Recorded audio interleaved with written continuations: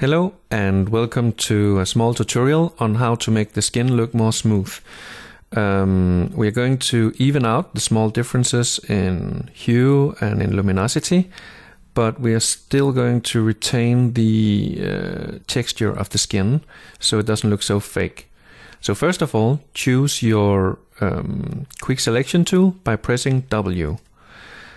From here, you should ensure that Add to Selection has been chosen and then you simply press down the left mouse button on the parts that you want to select. In this case, we select all the skin. So if it chooses too much, simply hold down your Alt key while pressing the left mouse button and drag into the area that was chosen, uh, that was not supposed to be chosen, such as the hair. Once you've done that, uh, you don't need to be too picky with your selection. Um, because we're going to refine it in just a second. Um, and the way we're going to do that is choose select refine edge. You could also use, and you should also use, the shortcut key Alt Control R. Um, and once you're in here, we need to adjust the feather. Now, look here from the parts that are chosen and the parts that are not. It represents it with a white color, the parts that are not chosen, and that should be more blurry.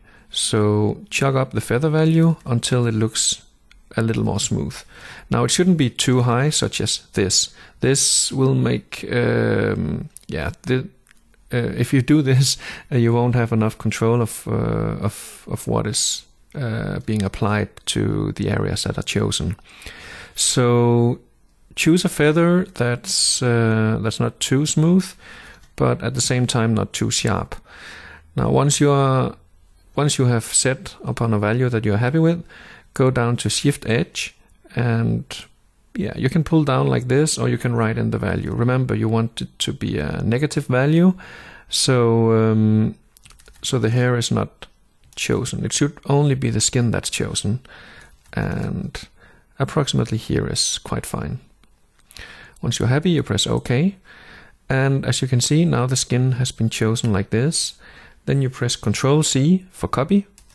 It's like that in Word and yeah, the rest of the Windows interface. Then you press Ctrl V for paste. Now once you've done that, you have a layer consisting of only the skin. Yeah, and in this case also her eyes and her mouth. Um, and once you've done that, you go to Layer and Duplicate Layer. Um, you could also press Ctrl J, that's the shortcut key for duplicating the layer. And now I have three copies. So let's name them because as soon as your project gets larger, you will you will forget what each layer does and therefore it's very important that you remember to name your layers. So let's call this one surface blur. Let's call the next one high pass fine. And let's call this the last one for high pass rough um, we disable the two uh, top layers. So right now it's only one of the layers that are being shown and that's surface blur. So let's apply the surface blur filter here. Now these two values can be a bit tricky to set in the beginning, but as you process more pictures, you will get a better feel and a better grip of what these values should be. What you want to take a look at is we want to even out all the all the tones. Um, so the tonality should be much more even than this. And we will change the values until it looks approximately correct. And it's especially important that you take a look at uh, if you go too high you can see it begins to lose more detail the threshold is um, how should I put it uh, it's uh, the difference between the contrasts and edges that it will try to retain or not. The higher you put it the less it retains. So uh, if you chug it up too high it will take too too much detail. And if you have it too low it will not take enough. So I will keep it here. The radius you could call strength, like how much should it blur once it finds out from the threshold uh, what it should blur, and If you set it up too high, it will look flat. It will look two dimensional. And if you set it too low, well, the point of doing all this would almost be moot. So I'm going to, to run with the values like these and then press OK. Now, surface blur is a very heavy filter to run. Odds are that if you're doing this on a full resolution image, uh, you will need to wait for more than just a few seconds. Especially if you have retained your image in 16 bits per channel. Now I downsampled mine to 8 bits per channel and a lower resolution. Uh, so this tutorial doesn't take all day with you just looking at the small green bar climbing up. So enable your high pass fine layer and go to filter, other, high pass. Once you've done that, you want to take a look at when you can barely see the eyes. Um, so zoom in a bit. And this value, if it's too high, it's not really fine detail that we are going to preserve. It's uh, the more rough details. And if it's set too low, well, it, it won't matter so much. So we should be able to glimpse the eyes like this. So 0.8 was the correct value for me. Again, take a look at your image and when you can just spot, barely spot the eyes and press OK. As soon as you've done that, you should bring up your levels by pressing Ctrl L, L for levels. Now, here is our area of interest. It's a very small area of interest, so let's pull our left slider towards the middle and let's pull the right slider towards the middle. That will increase the contrast and we can easily see what's going on. Here we take a look at uh, the face itself and we want the darkest areas to be almost black and the brightest areas to be almost white. Now we're going to do this uh, two times because the first time it's very hard to do it precise and very easy to mess up. So take a look here. There are some colors within this area and we don't want that. We actually only want black and white image. So you can go you can go up to image adjustments desaturate or you can simply use a shortcut control shift U like this. So now you're sure that this is only a black and white image or grayscaled image. So bring up your levels again, control L. And now you can see this area has spread out much more. Um, we need to increase the contrast a bit more. So again, the white should be almost white and the black should be, the darkest area should be almost black. We will keep it like this and press OK.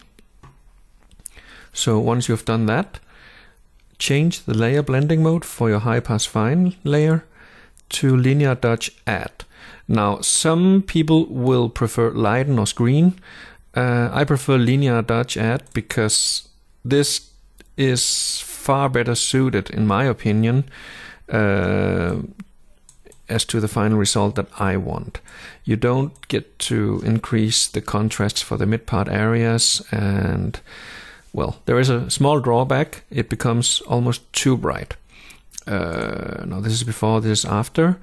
And as this is increasing only uh, the brighter areas of this layer, um, you might end up with skin that is uh, a little too bright, but we'll take care of that later on. For now, press down the opacity and let's just choose 20 as a guide um, because we're going to readjust that once we have the final layer in order.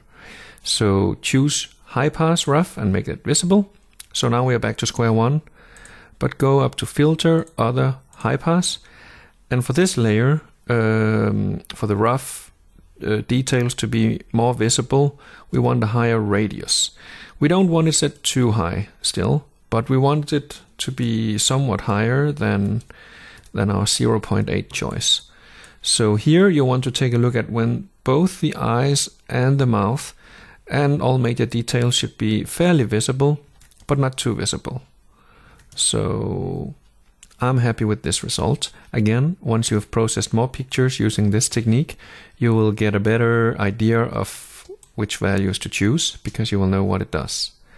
So once you've done that, bring up your levels again, Control L. And as you can see, our area of interest is much broader now.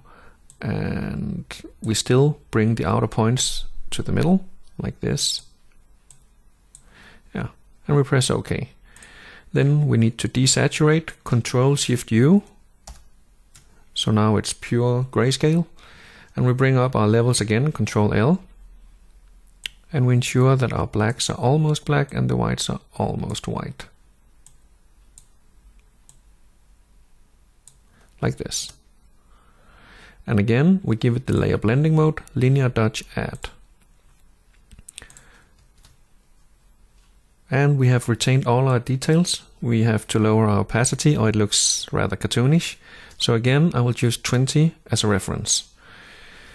Um, we're almost through. Now we only need to fine tune our values. So the surface blur, well, we still want some of the original layer underneath to be visible. So let's chug it a bit down to 80 or 70. Take a look at your final image uh, as opposed to your starting point. You want all of these differences in luminosity to be evened more out. That was the point of doing the whole thing. So this layer is doing what's most important. It's creating the blur. But I would say equally as important should be your high pass layers. So start by chugging on the fine and readjust this value to your liking. If you go too high, it looks too sharp and too cartoonish and yeah, it it doesn't look good at all. If you make it too low, it yeah, the it won't have any effect obviously and you want it to have some effect. So that's too high. So let's just go with 18. These high pass filters are easier to control the opacity of when you chuck them on one by one. Now this becomes way too much. As an added benefit, we also increase the overall sharpness of the eyes and the teeth and the nose.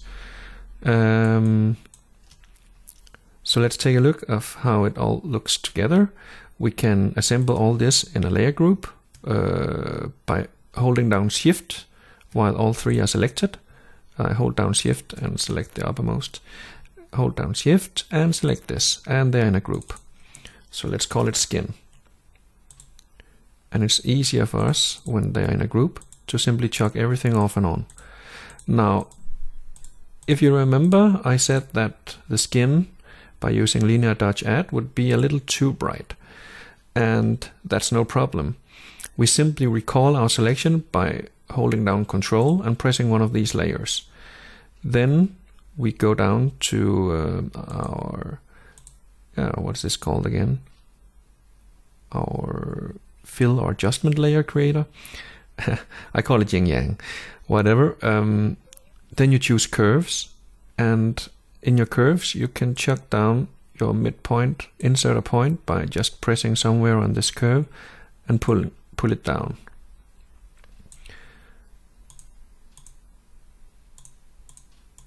And as you can see, I make it a little darker. So this is everything from before and after. This is a basic skin technique.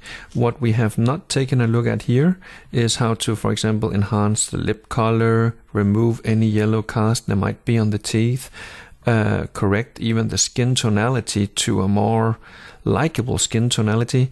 Uh, like for example, sometimes the skin is too pinkish or too too yellowish or too greenish. Uh, all of this can be amended in Photoshop. But for now, uh, you have learned how to even out the skin while still retaining the text uh, the texture of the skin.